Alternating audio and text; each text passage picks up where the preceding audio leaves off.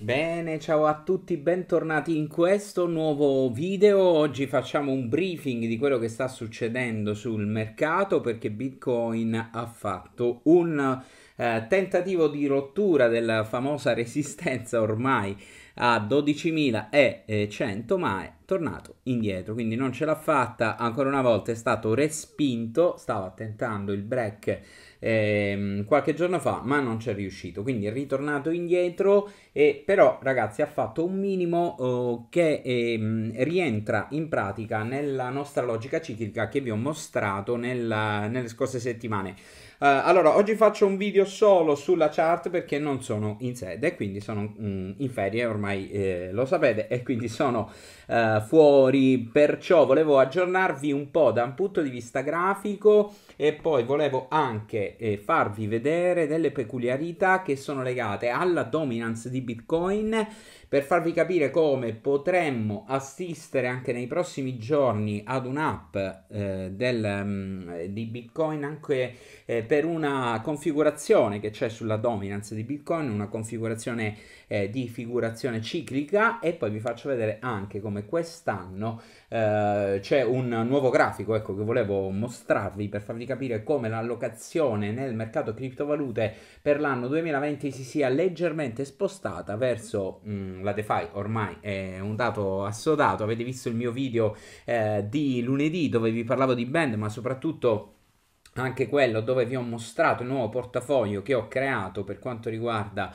eh, la gestione di, dei, di, questi pump, insomma abbiamo preso anche il pump su eh, Comp proprio recentemente, proprio perché era indicato anche all'interno di quel portafoglio, quindi abbiamo fatto più 45% ragazzi eh, proprio nel, nelle scorse giornate. Vi faccio vedere anche eh, la, mh, mm, eh, il Crypto Horse Race come lo stiamo gestendo, eccolo qui ragazzi, vedete? Quindi questo l'ingresso su Comp eh, che ho gestito più o meno dal break di questo livello, più o meno qui, e questo è tutto il profitto che abbiamo preso che risale ehm, più o meno dovrebbe essere tra uh, questa fascia e eh, questi livelli, quindi siamo al 52, non è ancora uscita l'operazione, eh, ma questo un po' per farvi capire come effettivamente eh, ci siano uh, delle, delle buone occasioni in pratica nell'ambito ehm, dei mercati DeFi e anche delle coin leggermente più piccole. Quindi oggi andiamo ad analizzare un po' tutte queste cose in questo video. Partiamo però eh, dalla, ehm, dal video relativo di, di, Bitcoin. Adesso vediamo, vi faccio eh, ricaricare nuovamente ecco, il grafico di... Eh, ragazzi di Bitcoin eh, quello che abbiamo e che guardiamo sempre a livello ciclico per eh, mostrarvi questa, questa peculiarità, diciamo questa particolarità. Ehm, allora, vediamo se riesco a... Uh, mostrarvi il grafico in maniera più chiara uh, sul mio tablet. Allora, ecco qui ragazzi, quello che volevo farvi vedere era questo minimo che corrisponde esattamente, quindi questo qui in pratica, quello della giornata di oggi, corrisponde ragazzi esattamente con quello che poi effettivamente vedete ci aspettavamo eh, come struttura di configurazione ciclica. Se vi ricordate vi avevo accennato al fatto che questo, eh, questa fase ciclica fosse ternaria e che probabilmente questo ciclo ternario aveva una configurazione così sviluppata, quindi 1, 2 e poi un terzo ciclo di questo tipo. Sembrerebbe proprio nella giornata di oggi che il mercato abbia fatto questo, questo slancio, questo slancio ribassista eh, che va proprio a delinearci il ciclo eh, centrale di cui vi avevo parlato nelle, nelle scorsa, nello scorso video, quello del lunedì anche, ma lo avevo anche accennato la scorsa settimana.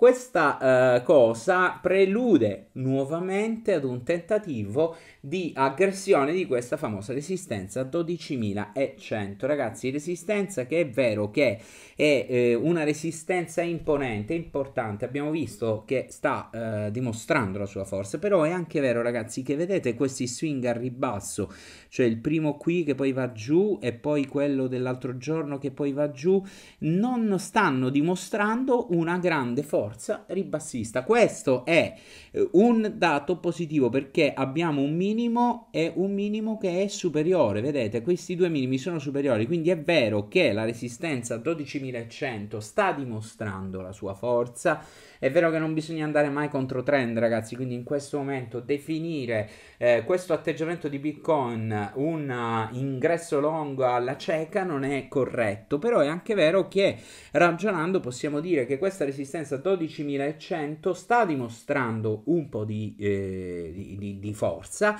però allo stesso tempo i movimenti ribassisti, quindi i, eh, gli orsi, quando aggrediscono questa resistenza, ehm, non hanno tanta forza, quindi al ribasso perché vedete che eh, sia le, mh, mm, eh, le parti eh, in pratica eh, di eh, riduzione, diciamo di discesa sono più strette, sia il mercato si riprende poi velocemente, perché avete visto poi la ripresa per esempio in questa fase e anche nella giornata di oggi si sta riprendendo.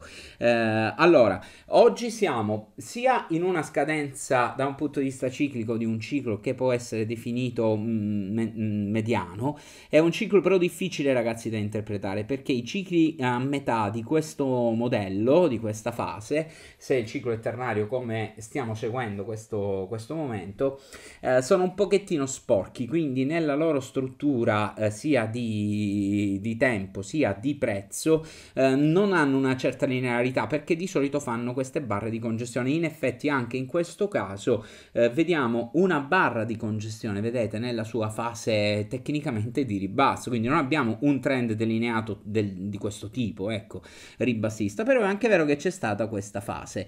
Allora, questo cosa significa e come possiamo in questo momento interpretare questa fase di rimbalzo? Possiamo interpretarla in questo modo. Se da domani il mercato riuscirà di nuovo a riportarsi in questa fascia, potrà avere grande potenzialità magari di andare a rompere questa resistenza domani è mercoledì, quindi pro- eh, scusate, giovedì, quindi proprio a cavallo della fase di chiusura della settimana, che poi è quello che ci interessa perché vi avevo mostrato anche nel famoso grafico settimanale, adesso vediamo se eh, lo richiamiamo di nuovo, il mio grafico di ciclo di lungo periodo, vedete, vi avevo mostrato eh, come effettivamente il, la lineetta blu in questo caso e poi i massimi a 12.000 stanno tenendo banco. Quindi è a livello settimanale che noi dobbiamo salire qui dentro ragazzi. E qui ci sarà da ridere perché il mercato non ha grandi poi ostacoli davanti a sé, quindi potremmo avere grandi soddisfazioni da questo punto di vista.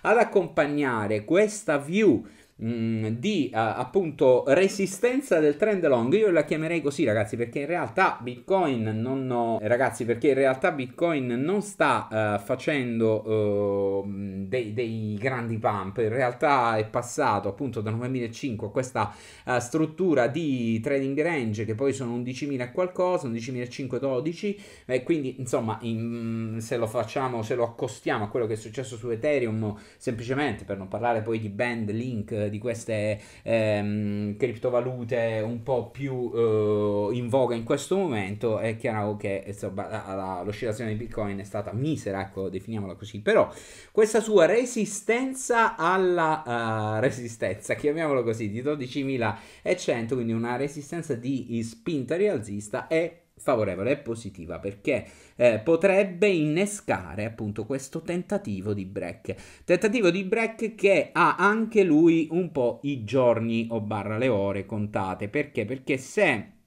Effettivamente questo è un ciclo ternario, così come ve l'ho descritto negli scorsi video, questo ciclo ternario dovrà avere questa struttura, vedete, e dopodiché qui eh, intorno quindi al 20-22 iniziare la sua fase di ribasso. Quindi in pratica la, la, fase di break di questo 12 e 10 potrebbe essere importante perché magari potrebbe accompagnare eh, per un po' eh, e mh, mm, insomma far, far, fare al mercato un grande balzo. Ecco ragazzi, questo è il discorso. Potremmo avere lo stesso balzo che abbiamo avuto qui con un break del genere e fare così prima di andare magari a fare la close. Però poi dobbiamo andare a chiudere questo ciclo ragazzi a fine mese di eh, giugno più o meno se tutto è in linea è, ehm, anche se la fase ribassista potrebbe essere breve, magari non importante, dobbiamo tenerne conto. Quindi un po' eh, il trend di Bitcoin deve dimostrare la sua forza nei prossimi giorni. Questo è quello che voglio dirvi.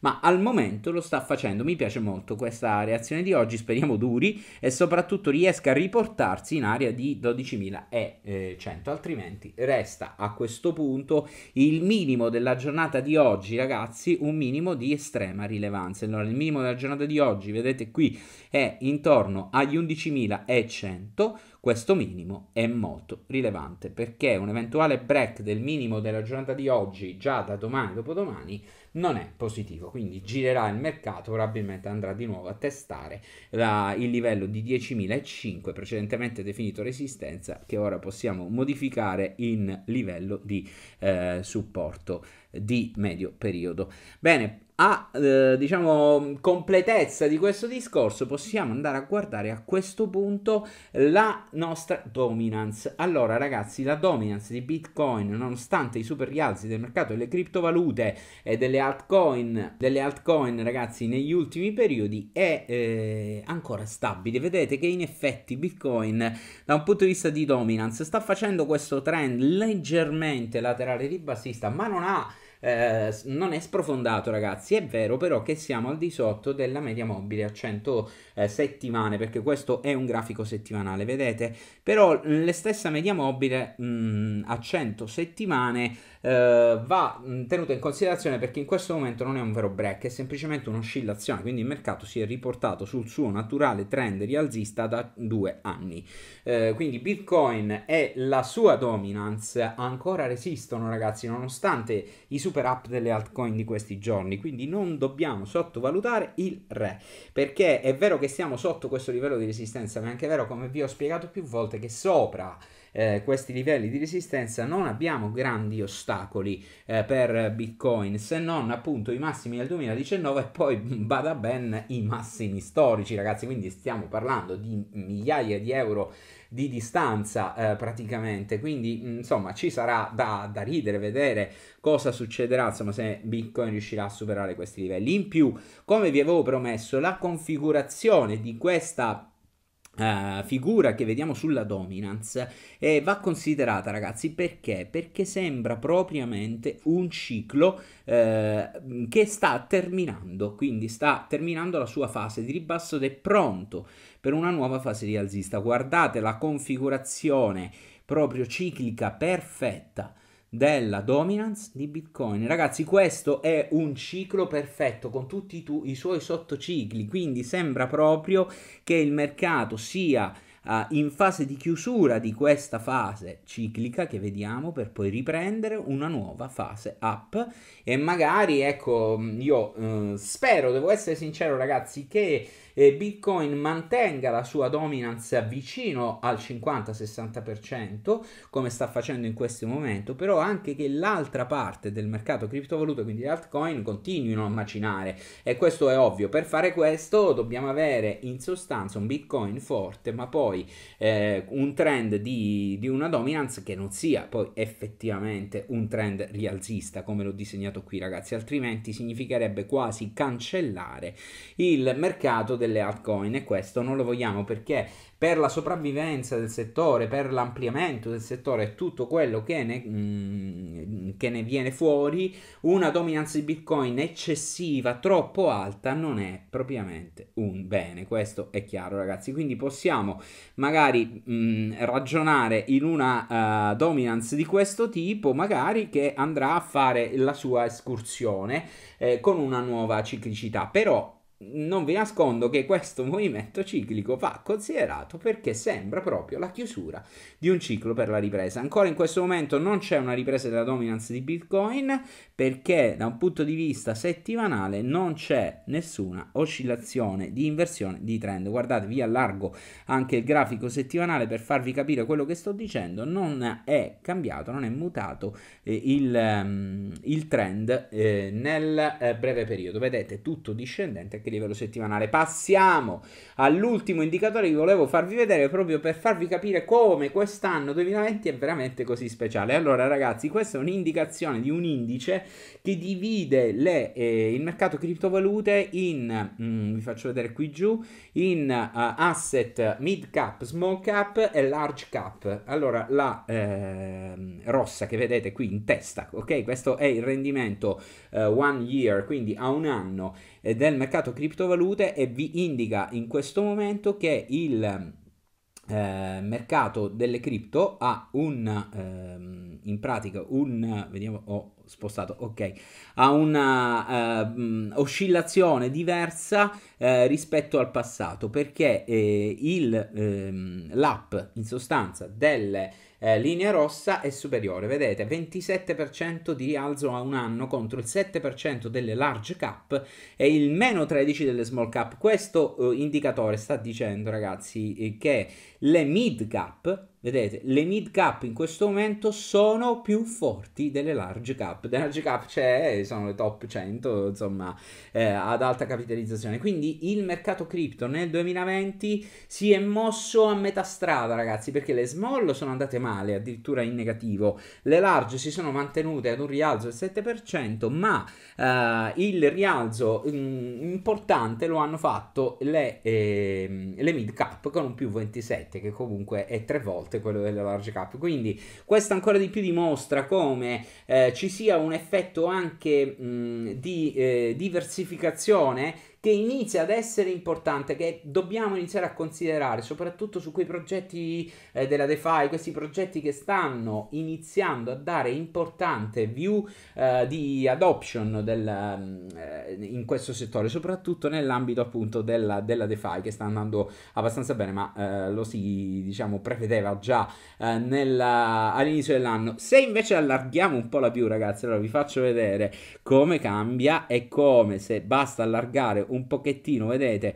eh, gli anni e mettere eh, due anni a riferimento, guardate come cambia radicalmente e come le large cap sono in netto vantaggio, anche se a due anni siamo ancora in fase negativa perché eh, si viene appunto dai massimi del 2018 in questo caso, quindi vedete una percentuale negativa perché c'è di mezzo ancora la, il mercato orso del 2018, però vedete come le large cap sono essenzialmente superiori a, a tutte le altre, quindi questo momento di forza del eh, mercato mid cap che vediamo in quest'anno potrebbe essere semplicemente temporaneo, però perché no ragazzi, valutiamolo ed è anche un'altra eh, indice, un'altra indicazione del fatto che la dominance di Bitcoin potrebbe essere in effetti arrivata ad una fase di inversione e che quindi non dobbiamo sottovalutare eh, il re delle criptovalute perché vedete un po' eh, come siamo in una eh, situazione che i dati passati non confermano. Bene ragazzi, allora oggi tanti numeri, tanti grafici e soprattutto non avete visto il mio oh, faccione perché eh, sono fuori. Noi ci rivediamo venerdì col prossimo video e niente che dire. Speriamo di riuscire a rompere questi 12.100. Ciao a tutti!